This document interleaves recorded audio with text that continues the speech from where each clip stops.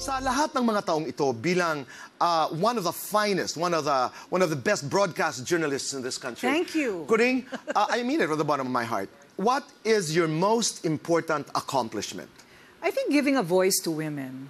You know, I came at a time, uh, you know, I'm a 30-year-old employee of ABS-CBN. So madalas akong ma-interview itong mga panahon na ito dahil 30 years na ang DZMM, Okay. nag 25 years na rin ang TV Patrol, and every time they would go to me because I can write a book about the station. I was the very, one of the very first in the news department. Um, and I think uh, we, we came at a time right after uh, martial law, 1986, Cory Aquino, biglang nagkaroon ulit ng boses ang mga mamamahayag. Pagkatapos ng censorship ng, ng 20, 25 taon yata yan, walang boses ang tao, biglang narito kami, batang-bata pa ako noon, 20 lang yata ako noon, biglang nagkaroon ako ng mikropono para magsalita tungkol sa aking mga opinyon. Ang sabi sa akin ni Freddy Garcia noon, ang problema mo, Corina, masyado kang mabait. Believe it or not, at one point, mabait ako. Oo. Ang binabasa ko ay mga Biblia, mga Bible verses sa magandang umaga po. Okay. Sabi ko, I want something more provocative. And he said, you're too nice. Sabi ko, I'm not nice. so, Hoy Gising was born. At biglang ang bibig ko hindi na mapigilan. Sabi ko, uy, patok ito. Babae, bata. May opinion. May opinion, galit sa mundo. Sinasabi sa presidenteng bumaba ka sa pwesto mo.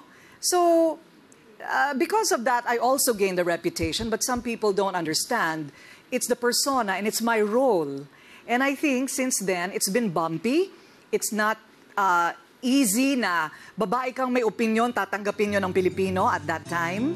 Pero ngayon, lahat ng tao may opinion na. So I think um, maybe that's my contribution. I want to touch on uh, your advocacies.